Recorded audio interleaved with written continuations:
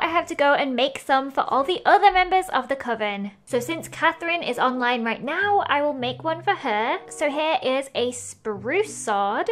And I'm gonna change this into a purple one for her. Oh my gosh, it's adorable. So let's head over to her island and surprise her with this.